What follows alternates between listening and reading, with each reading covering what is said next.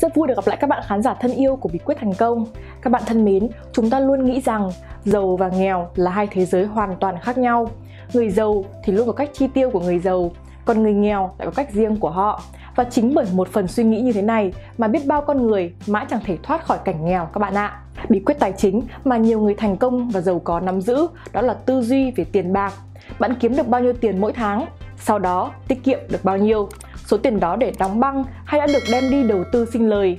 Nếu muốn làm một cái gì đó lớn lao hơn thì phải tiến lên với tất cả đam mê và quyết tâm của bản thân mình. Mọi thất bại trong cuộc sống, trong kinh doanh, học tập đều do suy nghĩ sai lầm của bạn mà ra. Tư tưởng nó là nguyên nhân bên trong của mọi vấn đề. Tự tạo ra cuộc đời của mình, sẵn sàng đón nhận cơ hội, tham gia cuộc chơi tiền bạc để giành chiến thắng là những tư duy của một người giàu có trái ngược hoàn toàn với góc nhìn của người nghèo. Vậy bạn có muốn nhanh chóng thoát khỏi sự bế tắc về tiền bạc hay không? Bạn đã biết tới những cách chi tiêu và quản lý tiền bạc của người giàu hay chưa? Các bạn cùng bí quyết thành công tìm hiểu trong video ngày hôm nay nhé.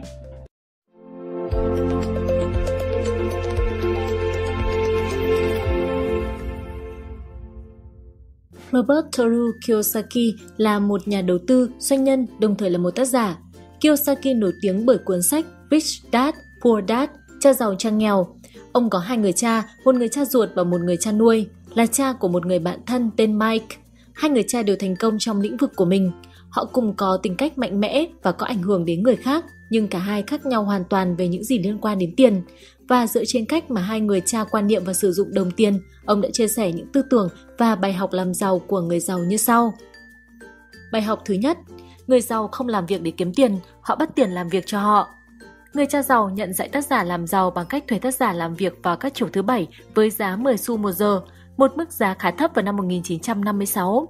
Sau một thời gian làm việc cực nhọc, tác giả đã gặp cha giàu để đòi tăng lương. Sự ấm ức của tác giả vì cho rằng bị trả mức lương thấp được cha giàu ví như những cú xô đẩy của cuộc đời. Theo cha giàu thì cuộc đời luôn xô đẩy chúng ta. Một số người sẽ bỏ cuộc, một số sẽ chiến đấu lại sự xô đẩy đó bằng cách gây chiến với ông chủ, với công việc hay thậm chí với vợ chồng mình chỉ một số rút ra những bài học từ cuộc đời và tiếp tục tiến lên phía trước. Tiếp đó, cha giàu dạy cho tác giả bài học về người nghèo và tiền. Người nghèo suốt đời làm việc vì tiền bạc mà không biết rõ mình làm việc vì mục đích gì. Và khi người nghèo kiếm ra nhiều tiền thì họ lại mắc nợ nhiều hơn. Người nghèo bị kiểm soát bởi hai cảm xúc sợ hãi và sự khát khao. Sự sợ hãi không có tiền bắt họ phải làm việc và khi nhận được lương thì họ lại mong muốn những thứ mà họ có thể mua được.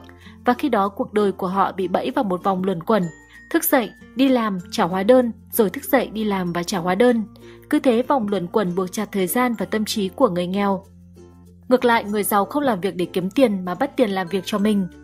Với mong muốn học những bài học của người giàu, tác giả đã đồng ý làm việc không nhận lương cho cha giàu. Sau vài tuần được cha giàu đề nghị mức lương cao không tưởng, tác giả vẫn giữ nguyên ý định làm việc để học cách làm giàu, chứ không phải làm việc để kiếm tiền như cha nghèo và nhiều người khác đang làm. Bài học quý giá tác giả học được từ cha giàu, luôn suy nghĩ, quan sát để tìm ra những cơ hội làm ra tiền vốn luôn hiện hữu chung quanh chúng ta. Tuy vậy, nhiều người nghèo không nhìn thấy những cơ hội này bởi vì họ đang bận rộn và quan tâm đến việc kiếm tiền và sự đảm bảo trong công việc. Áp dụng bài học này, tác giả đã nhận diện một cơ hội kinh doanh tốt. Tác giả xin lại những cuốn truyện tranh nằm trong kế hoạch hủy bỏ của đại lý truyện tranh với cam kết không được bán lại số truyện tranh này. Tác giả đưa số truyện tranh vào trong phòng chống của mẹ của Mike, tạo ra một thư viện cho các bạn nhỏ thuê đọc tại chỗ. Chỉ với 10 xu, thay vì mua một cuốn truyện tranh, khách hàng của tác giả có thể đọc 5 đến 6 cuốn. Điều quan trọng là tác giả không phải làm việc mà thuê chị của Mike quản lý thư viện này.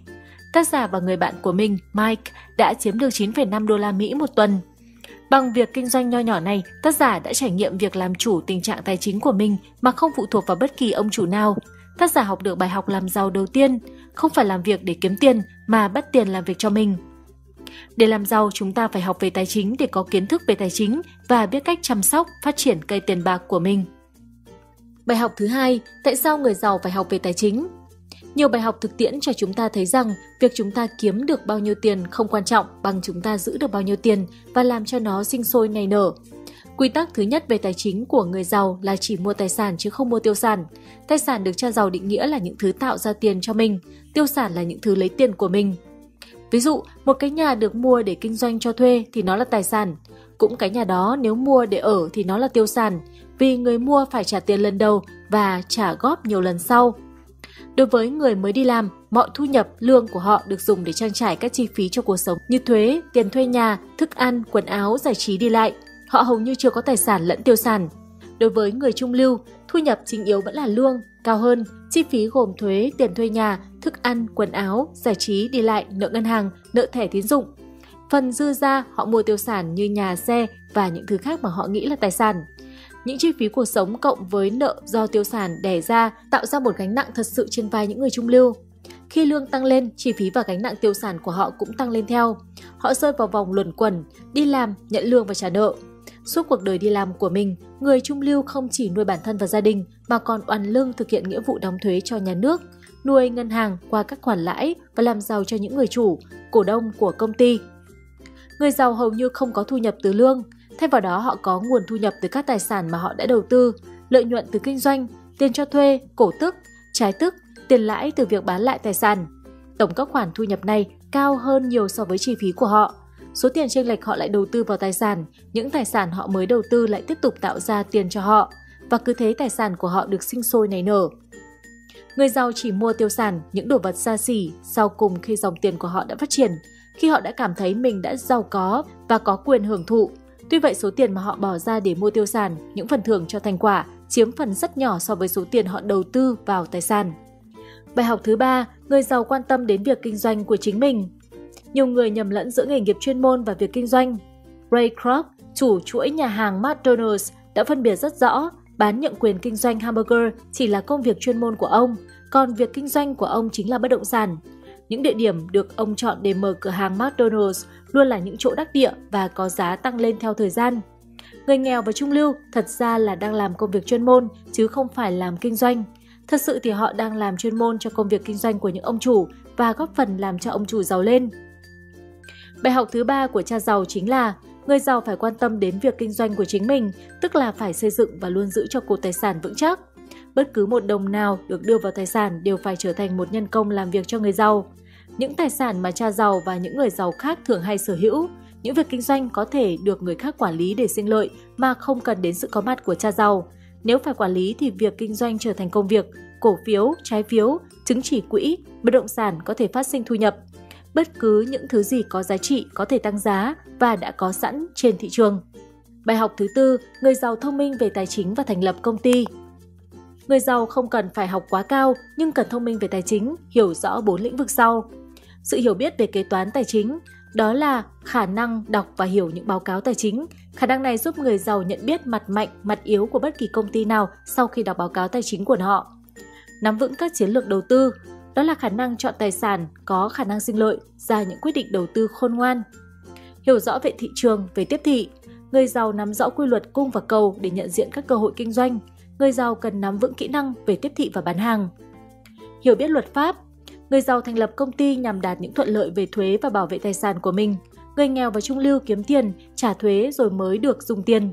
Người giàu sở hữu công ty thì kiếm tiền, dùng rồi mới trả thuế. Tất cả chúng ta đều nhận được hai món quà từ khi chào đời, đó là trí óc và thời gian. Bất cứ ai cũng có quyền làm mọi điều bản thân mong muốn với cả hai thứ này. Và chúng ta là những con người ưu tú nhất đang sống một thời đại công nghệ thông tin.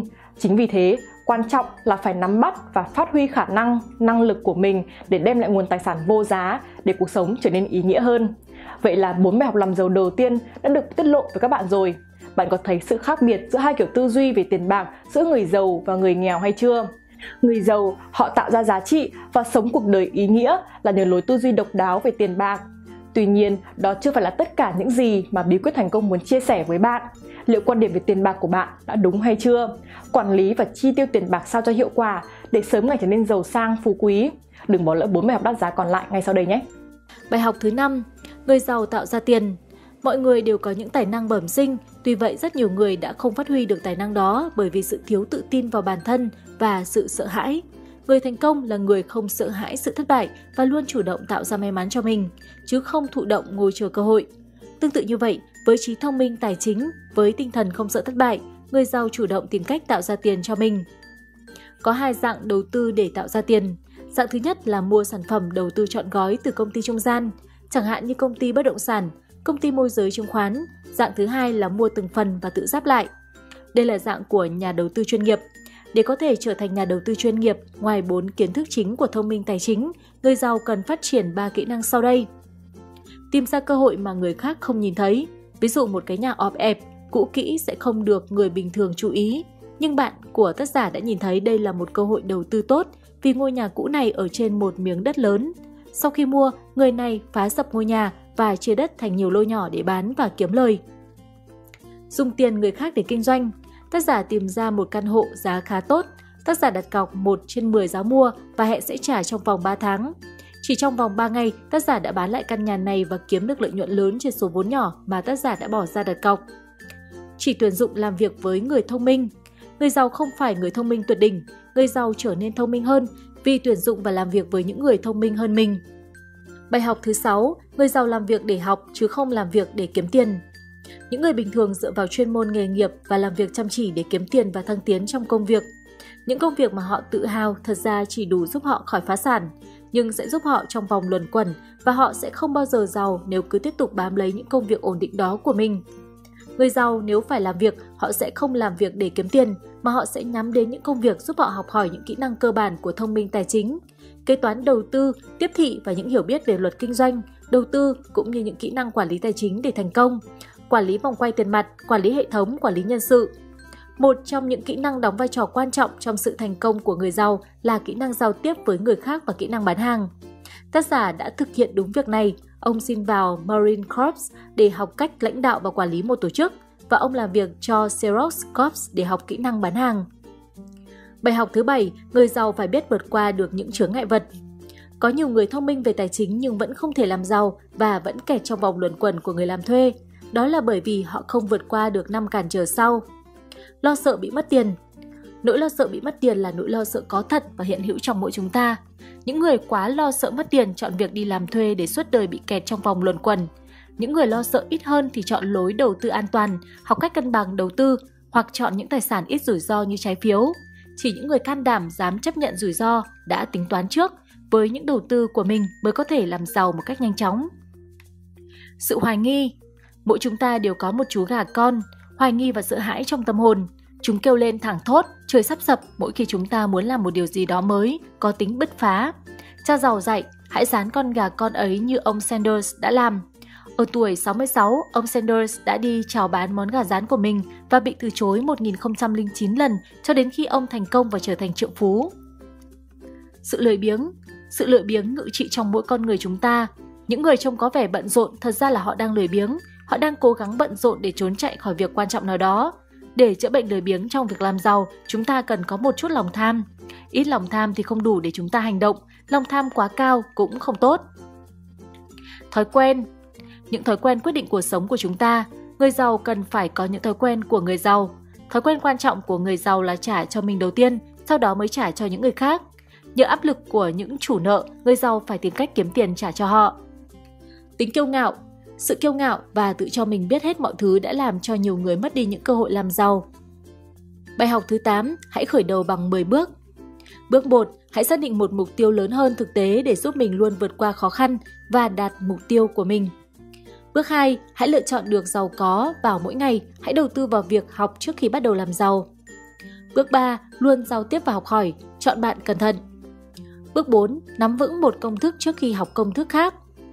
Bước 5, hãy trả cho bản thân mình đầu tiên. Trong trường hợp bị áp lực về tài chính, hãy cố gắng tìm cách làm ra tiền mới để trả nợ, không bao giờ đụng đến tài sản. Bước 6, chỉ sử dụng những người môi giới giỏi và trả cho họ xứng đáng. Bước 7, luôn quan tâm đến tiền lời từ đầu tư và những kết quả khác. Bước 8, luôn nhớ tài sản sẽ giúp chúng ta mua được những vật dụng, đồ dùng cao cấp. Hãy mua tài sản trước. Bước 9, khi làm việc gì hãy tưởng tượng những anh hùng của lĩnh vực đó. Khi ấy chúng ta sẽ được truyền cảm hứng và cũng thấy công việc trở nên dễ hơn. Bước 10. Hãy dạy cho người khác và chúng ta cũng sẽ được học. Hãy cho và chúng ta sẽ được nhận lại. Các bạn thân mến, tiền chỉ là một quan niệm. Nếu muốn có nhiều tiền hơn, bạn chỉ cần thay đổi cách suy nghĩ của mình. Hãy bắt đầu thật sớm, hãy mua những cuốn sách, hãy đến các cuộc hội thảo, hãy luyện tập, hãy bắt đầu nhỏ thôi. Chính những gì trong đầu bạn sẽ quyết định những gì trong tay bạn. Và đừng quên, 8 bài học làm giàu đỉnh cao Bài học thứ nhất, người giàu không làm việc để kiếm tiền, họ bắt tiền làm việc cho họ. Bài học thứ hai, tại sao người giàu phải học về tài chính? Bài học thứ ba, người giàu quan tâm đến việc kinh doanh của chính mình. Bài học thứ tư, người giàu thông minh về tài chính và thành lập công ty. Bài học thứ năm, người giàu tạo ra tiền. Bài học thứ sáu, người giàu làm việc để học chứ không làm việc để kiếm tiền. Bài học thứ bảy, người giàu phải biết vượt qua được những chướng ngại vật. Bài học thứ 8, hãy khởi đầu bằng 10 bước, có bí quyết ắt sẽ thành công.